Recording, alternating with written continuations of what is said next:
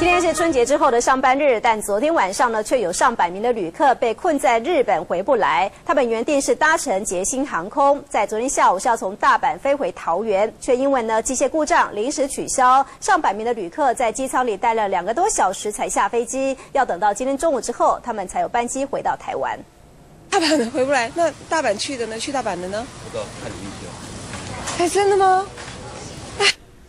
廉价航空又出包了，上百名台湾旅客趁着年假出发到日本去玩。原本预计十七号下午要搭乘捷星航空编号三 K 七二二班机从大阪飞回桃园机场，没想到却突然因为不明原因临时取消班机，旅客上了飞机才被通知不飞了。也过年期间比较忙吧，他们比较忙一点。嗯，我觉得它价钱虽然便宜，但是就是说担心会它 delay 的状况。或许就是因为廉价机票的关系，误点航班取消都得要先有心理准备。只是这架飞机明知机械有问题，还不准旅客下机，让所有乘客在机舱内苦等两个多小时才被告知。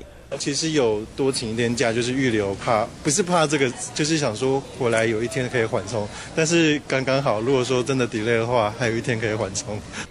上百名旅客开心出游，没想到莫名其妙受困大阪机场，也因为这样赶不回来上班，被迫打电话回台湾多请一天假，必须等到十八号中午一点半才能搭机。而在台湾方面，也有九十名旅客等待飞机抵台之后要转机前往新加坡，却也因此延误。旅客表示将严拟向捷星航空提出赔偿。中央新闻黄祖华桃园采访报道。